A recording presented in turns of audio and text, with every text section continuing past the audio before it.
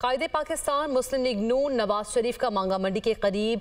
Hudaibiya paper mills का दौरा, नवाज़ शरीफ की आमद पर मांगा मंडी रोड पर security high alert. Nawaz Sharif ने हुदैबिया पेपर मिल्स का 50 मिनट तक दौरा किया। हुदैबिया पेपर मिल्स अरसे दराज से बंद है।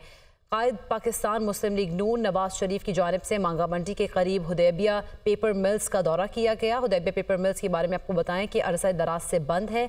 नवाज़ शरीफ की आमद पर मांगा मंडी रोड पर सिक्योरिटी को भी हाई अलर्ट कर दिया गया, जबकि नवाज़ शरीफ ने हुदैबिया पेपर मिल्स का 50 मिनट तक दौरा किया है।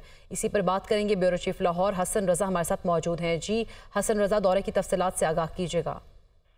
बिल्कुल कायद मुस्लिम लीग नून मियाँ मोहम्मद नवाज़ शरीफ, मांगा मंडी के नज़दीक अपनी मलकियत और दराज से बंद पड़ी। हदीबिया पेपर मिल्स का उन्होंने दौरा किया।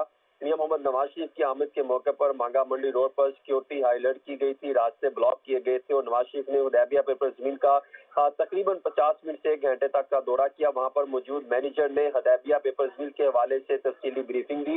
हदैबिया पेपर मिल अरसा दराज से बंद पड़ी थी और इसके मामला अदालत में भी चल रहे थे। इन पर केसी से जिसको देखते हुए अब तमाम मामला क्लियर होने के बाद नवाज़ शरीफ ने इस मिल्स के दौरे के मौके पर जो है वो हमत अमली मुरतब की कि इसको किस तरीके से बेहतर किया जा सकता है या रन किया जा सकता है।